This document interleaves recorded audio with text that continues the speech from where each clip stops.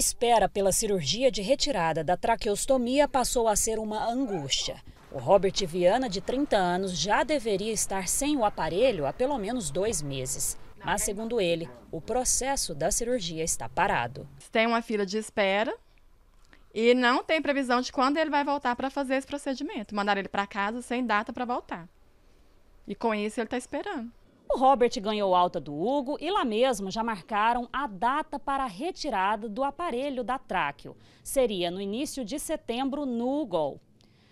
Ele aguardou esse dia chegar com muita expectativa. Quando chegou o dia, arrumou junto com a família, foi todo feliz até o UGOL, mas só quando chegou lá é que foi informado que o aparelho necessário para fazer o procedimento havia quebrado. Então voltou para casa, ficaram ligando várias vezes para o UGOL para ter informações sobre esse aparelho, até que um mês depois souberam que o aparelho havia consertado. Voltaram para o GOL novamente e, quando chegaram lá, a resposta foi de desanimar. Não tem nem previsão de quando isso vai ser resolvido.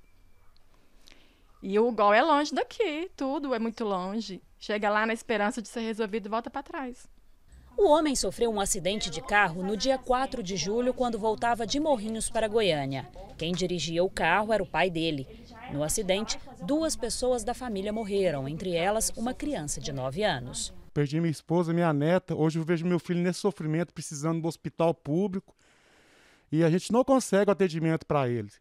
Mesmo que os, funcionários que estejam ali estão prontos a servir a gente, trata a gente bem, mas a gente não vê atendido para resolver o problema. E nessa demora, o Robert tem sofrido. Não consegue conversar, sente dor e está há dias sem conseguir comer. Ficar trocando isso aqui, o ferrinho, tem que ficar te limpando direto, porque não pode ficar entupido, entendeu? Não está sem dinheiro para comprar teu gás aqui, para ficar trocando. Tá muito difícil.